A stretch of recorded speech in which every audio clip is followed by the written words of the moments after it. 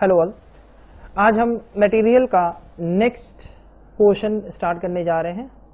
The name of the topic is just in time inventory management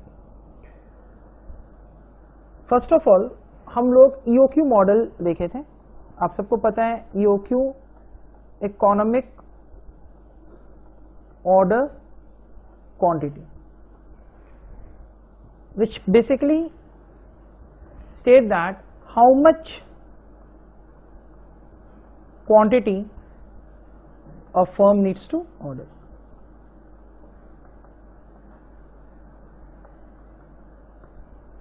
But EOQ के साथ एक problem है। Problem क्या है? सर आप जब ईओक्यू मॉडल पढ़ा रहे थे तो आप ये भी बोले थे कि एक कंपनी जो है, वो maximum level minimum level and reorder level का स्टॉक अपने स्टोर्स में रखेगा। So basically under EOQ model we have seen that a company needs to keep stock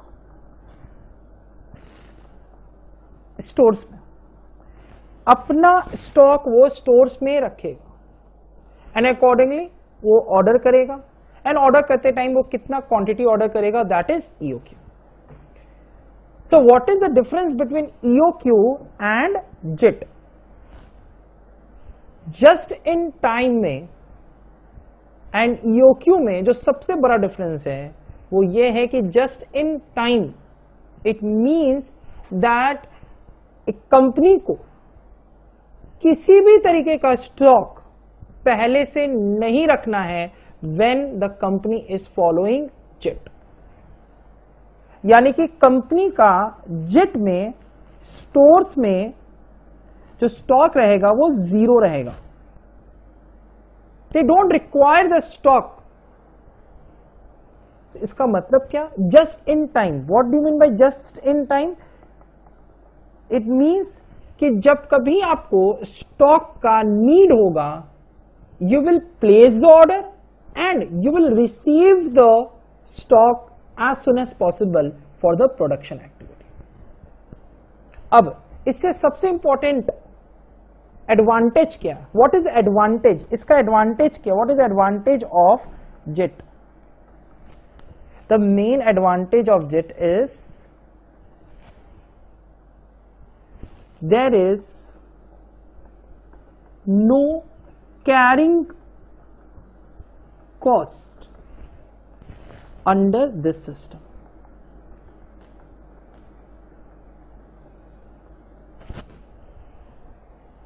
जो कि ईओक्यू मॉडल में था।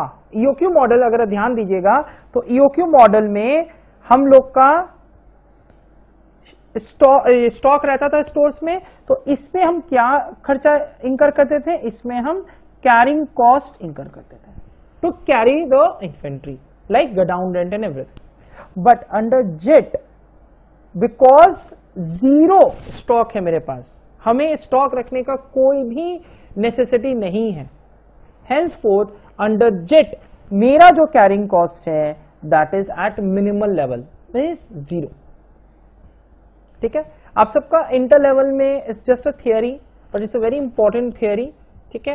And before starting ABC analysis I just want to complete the just in time part ठीक है? एक बार आइए, हम रीड करते हैं JIT is a system of inventory management with an approach to have a zero inventories in stores according to this approach material should only be purchased when it is actually required for production मैंने तो आपको पहले ही बताया it is only purchase when it is required for production मतलब अगर आपको production करना है अगर एक कंपनी बोलता है कि मुझे कल प्रोडक्शन करना है ठीक है मेरे पास स्टोर्स में कोई स्टॉक नहीं है what does it mean it clearly says that that company is following just in time mechanism जब कभी आपको प्रोडक्शन का दरकार हो जब कभी आपको प्रोडक्शन करना हो you order the material at that time only. And this is the difference between EOQ and JIT. Under EOQ, under EOQ हम क्या करते हैं अंडर ईओक्यू जैसे मैंने आपको बताया we keep stock in stores and we incur carrying cost but under jet there is no stock zero stock and hence there is no carrying cost ठीक है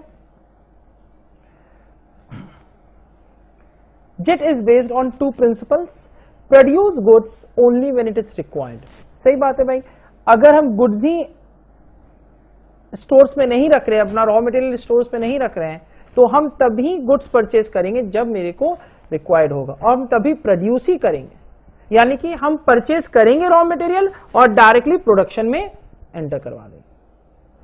Number two the product should be delivered to the customers at the time only when they want ठीक है?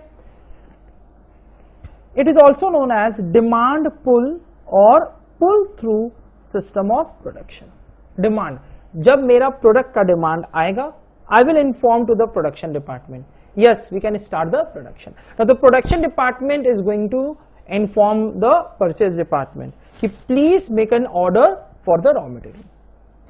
Accordingly जब raw material आ जाएगा तो वो directly stores में एंटर नहीं करेगा, वो डायरेक्टली फैक्ट्री में जाके एंटर कर जाएगा and the production kicks start ठीक है?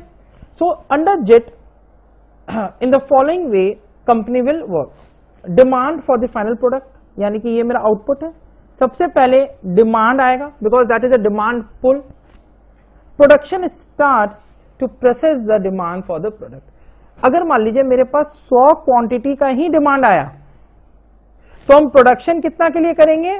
We will do it only for 100 quantities so material purchase raw material request हम कितना का भेजेंगे? हम रॉ मटेरियल रिक्वेस्ट का भेजेंगे 100 क्वांटिटी के लिए। Order for the raw material send to the supplier and supplier send the material for production एक चीज़ ध्यान दीजिएगा under JIT ordering cost under JIT ordering cost जो है, वो कंपनी को बियर करना पड़ेगा। There is no sorry there is ये नो ये lowering down the ordering cost under JIT तो ordering cost is the common part under EOQ as well as under JET. However, carrying cost जो है carrying cost EOQ model में लगेगा but जीट में नहीं लगेगा. एक बात ध्यान दीजिएगा. क्या हमें अंडर जेट स्टोर्स रखना ज़रूरी है? क्या हमें स्टोर्स मैनेजर रखना ज़रूरी है? The answer is no because हम स्टॉक ही नहीं कर रहे हम रॉ मटेरियल स्टॉक ही नहीं कर रहे हैं under JIT hence for we don't require the stores manager we don't require any kind of stores जब कभी मेरा प्रोडक्ट का डिमांड आएगा we will inform the purchase department purchase department will place the order for the requisite amount of raw material and as soon as raw material comes to the factory it will directly be transferred to the production department ठीक है सो so, ये मेरा jet का first lecture था so with this I am going to complete my JIT theory part in the next class we will start with ABC analysis so thank you all and thank you for watching this video